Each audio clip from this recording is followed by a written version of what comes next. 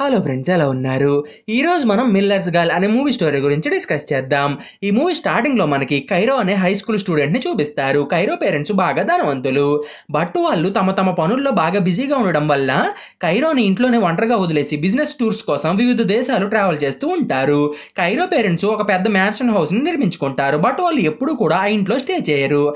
Cairo మాత్రం ఆ ఇంట్లో ఒంటరిగానే ఉంటూ తన స్టడీస్ని కంప్లీట్ చేసుకుని హైయర్ ఎడ్యుకేషన్ కోసం వేరే ప్లేస్కి వెళ్ళాలని అనుకుంటుంది. కైరోకి చదవడం అన్నా రాయడం అన్నా చాలా ఇష్టం. ఆమె ఎప్పుడూ కూడా బుక్స్ని చదువుతూనే ఉంటుంది.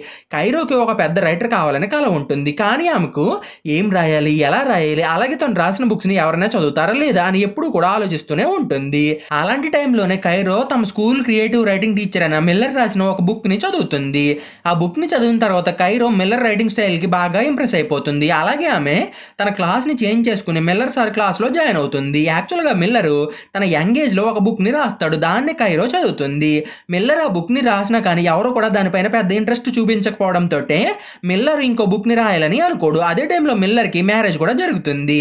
మ్యారేజ్ అయిన తర్వాత మిల్లర్కి బుక్స్ పైన ఉన్న ఇంట్రెస్ట్ అనేది పూర్తిగా పోతుంది. దాంతోనే అతను రైటింగ్స్ని ఆపేసి టీచర్ జాబ్లో జాయిన్ అయ్యి మిగతా రైటర్స్కి హెల్ప్ చేయాలని డిసైడ్ అవుతాడు. ఇన్ఫ్యాక్ట్ మిల్లర్ వైఫ్ కూడా ఒక రైటరే మిల్లర్ భార్య మ్యారేజ్ జరిగిన తర్వాత ఒక బుక్ని రాస్తుంది. ఆ టైంలో ఆ బుక్ బాగా సక్సెస్ అవడం వల్ల ఆమె నాన్ స్టాప్గా రకరకాల బుక్స్ని రాస్తూ ఉంటుంది. అలాగే ఆమె ఒక సక్సెస్ఫుల్ రైటర్గా కూడా ఎదుగుతుంది. ఇప్పుడు మిల్లర్ వైఫ్ రోజు రోజుకి సక్సెస్ని చూస్తుండడంతో ఆమెకు తన భర్త పైన ఉన్న ఇంట్రెస్ట్ పూర్తిగా తగ్గుతూ వస్తుంది. అలాగే ఆమె పేరుకి తన హస్బెండ్ తోటి కలిసి ఉంటుంది. మిల్లర్ డైలీ స్కూల్ నుండి ఎంతో ఆశగా తన టైంని తన భార్యతో స్పెండ్ చేయాలని చెప్పి ఇంటికి వస్తాడు. అలాగే తన భార్యతో కలిసి పని కానివ్వాలని అనుకుంటాడు. కానీ అతని భార్య మాత్రం తన ల్యాప్టాప్ ముందు కూర్చుని తన భర్తను పట్టించుకోకుండా డైలీ ఏదో ఒకటి రాస్తూ ఉంటుంది. ఇలా మిల్లర్ తన లైఫ్ని లీడ్ చేస్తూ ఉంటాడు. ఇప్పుడు మిల్లర్ అటు రైటర్ గాను ఇటు హస్బెండ్ గాను కూడా ఫెయిల్ అవుతాడు. అలాంటి టైంలోనే కైరో మిల్లర్ లైఫ్లోకి ఎంట్రీ ఇస్తుంది. తను ఎప్పుడో రాసిన బుక్ని కైరో చేతిలో చూసి మిల్లర్ పూర్తి అటెన్షన్ కైరో వైపుకి వెళ్తుంది. కైరో కూడా మిల్లర్ రాసిన బుక్ గురించి అతని రైటింగ్ స్టైల్ గురించి ఆ బుక్ లిటరేచర్ గురించి మిల్లర్కి చెప్పి అతన్ని తెగ పొగడేస్తుంది ఇంకా చెప్పాలంటే తను తన జీవితంలో ఇటువంటి బుక్ని ఎక్కడ కూడా చదివిందే లేదని చెప్పి కైరో మిల్లర్ తోటి అంటుంది. అది వినగానే మిల్లర్కి ఎక్కడ ఎక్కడా లేని ఆనందం వచ్చేస్తుంది. దాంతోపాటు ఇంతకాలం తర్వాత నేను ఒక మంచి రైటర్నని నన్ను ఒకరు గుర్తుపట్టారని చెప్పి చాలా సంతోషపడతాడు. అలాగే అతనికి కైరో పైన ఉన్న ఇంట్రెస్ట్ కూడా బాగా పెరిగిపోతుంది. ఆ రోజు నుండి మిల్లరు అందరి స్టూడెంట్స్ని ట్రీట్ చేసినట్టు కాకుండా కైరోని స్పెషల్గా ట్రీట్ చేస్తూ ఉంటాడు. వీళ్ళిద్దరూ క్లాస్ అయిన తర్వాత కూడా ప్రైవేట్గా మాట్లాడుకుంటారు. దాంతోపాటు క్లాస్ బయట కలుసుకోవడం ప్రైవేట్ పోయిటరీ సెమినార్స్ కూడా కలిసి వెళ్ళడం లాంటివి చేస్తూ ఉంటారు. కైరో కూడా మిల్లర్ తోటి తన టైంని స్పెండ్ చేసి ఫుల్గా ఎంజాయ్ చేస్తూ ఉంటుంది. అలాగే వీళ్ళిద్దరూ కూడా బుక్స్ గురించి పోయిటరీ గురించి లిటరేచర్ గురించి మాట్లాడుకుంటూ ఉంటారు. చాలా విషయాల్లో వీళ్ళిద్దరి అభిప్రాయాలు కూడా ఒకేలాగా ఉంటాయి. వీళ్ళిద్దరి మధ్య interaction normal student and teacher interaction నుండి ఒక ఫ్రెండ్షిప్ ఇంట్రాక్షన్గా మారుతుంది. అలాగే వీళ్ళిద్దరికి కూడా ఫిజికల్గా కలవాలని కోరిక ఉంటుంది. కానీ వీళ్ళు స్టూడెంట్ అండ్ టీచర్ కావడంతో వీళ్ళు కోరికల్ని బయట పెట్టాలని అనుకోరు. కానీ వీళ్ళిద్దరికీ ఒకరిపైన ఒకరికి ఇంట్రెస్ట్ ఉంటుంది. అనే విషయం గురించి కూడా తెలుస్తుంది. ఇదిలా ఉన్నప్పుడే కైరో తన హైయర్ ఎడ్యుకేషన్ కోసం ఒక యూనివర్సిటీకి అప్లై చేస్తుంది. అప్పుడే ఆ యూనివర్సిటీ వాళ్ళు ఒక స్టోరీని రాసి దాన్ని తమకు పంపించమని చెప్పి కైరోకి ఒక మెసేజ్ని పంపిస్తారు. కానీ కైరో మాత్రం తను ఏ కాన్సెప్ట్ అయినా బుక్ రాయాలని చెప్పి సతమతం అవుతూ ఉంటుంది. అలాగే ఆమెకు స్టోరీ రాయడానికి ఒక ఇన్స్పిరేషన్ కూడా రాదు. కైరోకి లైఫ్లో కష్టం అంటే ఏంటో బాధలు అంటే ఏంటో తెలియకపోవడంతో ఆమె ఏ టాపిక్ గురించి స్టోరీ రాద్దామని అనుకున్నా కానీ ఆమెకి ఎగ్జైట్మెంట్ రాదు. అలాగే ఆమె తనని బాగా ఎగ్జైట్ చేసేదానిపైన స్టోరీ రాయాలని చెప్పి డిసైడ్ అవుతుంది. ఇది ఇలా ఉండగా one day night Cairo friend అయిన విన్ని కైరో వాళ్ళ ఇంటికి వస్తుంది. అప్పుడే కైరో అండ్ విన్ని మాట్లాడుకుంటూ ఉంటారు. వీళ్ళిద్దరు అలా మాట్లాడుకుంటూ ఉన్నప్పుడే విన్ని నాకు మన స్కూల్ పీటీ టీచర్ మీద క్రష్ ఉంది. నేను ఏదో ఒక రోజు అతన్ని లైన్లో పెట్టి సీక్రెట్ అఫేర్ని నడుపుతానని కైరో తోటి అంటుంది. అది విని కైరో బాగా ఎగ్జైట్ అయిపోతుంది. దాంతోనే ఆమె teacher and student affair topic మీద స్టోరీ రాయాలని చెప్పి అనుకుంటుంది. దాంతోపాటు ఆ స్టోరీ రాయడానికి తాను స్వయంగా టీచర్ తోటి అఫైర్ పెట్టుకుని ఆ ఎఫ్ఐఆర్ని ఎక్స్పీరియన్స్ చేయాలని డిసైడ్ అవుతుంది. ఇప్పుడు కైరో ఎఫ్ఐఆర్ పెట్టుకోవడానికి మిల్లర్ని ఎంచుకుంటుంది. నెక్స్ట్ ఆమె టీచర్ అండ్ స్టూడెంట్కి మధ్య ఉన్న బౌండరీస్ని జరిపేసి మిల్లర్ని సెడ్యూస్ చేయడానికి ట్రై చేస్తుంది. వీళ్ళిద్దరికి ఆల్రెడీ ఒకరిపైన ఒకరికి ఇంట్రెస్ట్ అనేది ఉంటుంది. ఇప్పుడు కైరో మరీ బరి తెగించేయడంతో మిల్లర్ కూడా తను ఒక టీచర్ అని మర్చిపోయి కైరో తోటి రిలేషన్షిప్ని పెట్టుకుంటాడు. వన్ డే కైరో తన ఫోన్ని మిల్లర్ బ్యాగ్లో అతనికి తెలియకుండా పెడుతుంది. ఇది తెలియని మిల్లర్ ఆ ఫోన్ని తన ఇంటికి తీసుకెళ్తాడు. మిల్లర్ ఇంటికి వెళ్ళి తన పని తాను చేసుకుంటూ ఉన్నప్పుడు కైరో మిల్లర్ బ్యాగ్లో ఉన్న ఫోన్కి కాల్ చేస్తుంది.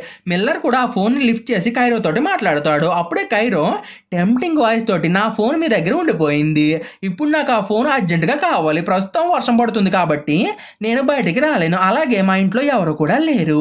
ప్రస్తుతం నేను ఒంటరిగా ఒక్కదాన్నే ఉన్నాను. సో మీరు కొంచెం నా ఫోన్ని మా ఇంటికి తీసుకురండి. ప్లీజ్ అని మిల్లర్ తోటి అంటుంది. అది విని మిల్లర్ కూడా తన కారు వేసుకుని కైరంటికి వెళ్తాడు. అతను కైరంటికి వెళ్ళేసరికి వర్షం కూడా పడుతూ ఉంటుంది.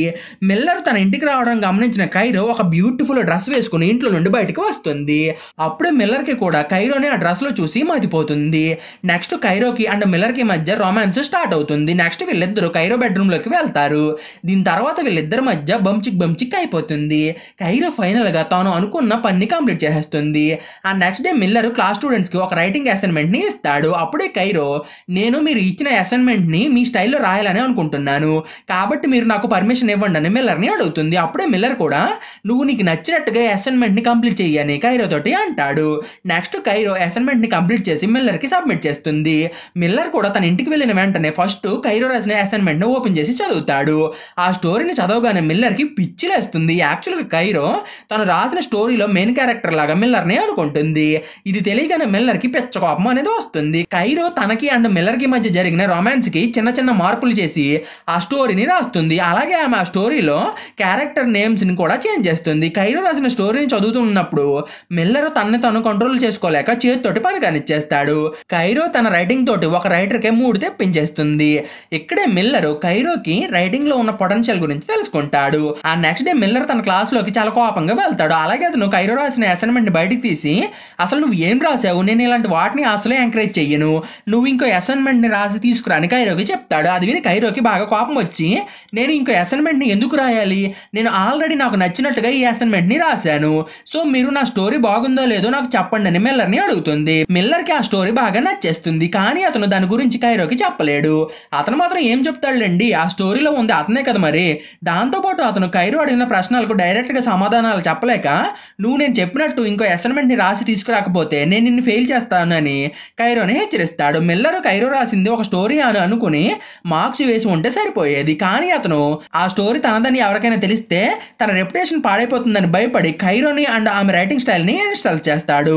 దాంతోనే కైరోలో ఉన్న క్యూట్ అండ్ స్వీట్ అమ్మాయి కాస్త ఒక డేంజరస్ అమ్మాయి లాగా మారిపోతుంది.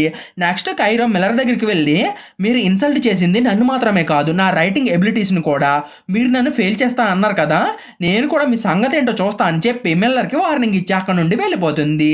అప్పుడు మిల్లర్ కైరో ఏదో కోపంలో అలా అను ఉంటుందని అనుకుని ఆయన కైరో తనని ఏం చేస్తుందిలే అని అనుకుంటాడు.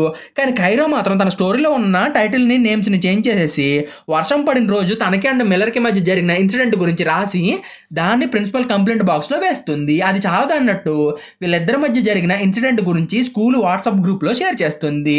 అది తెలియగానే స్కూల్ స్టూడెంట్స్ అందరూ కూడా మిల్లర్ సార్ మంచి రసికుడు అని అనుకుంటారు.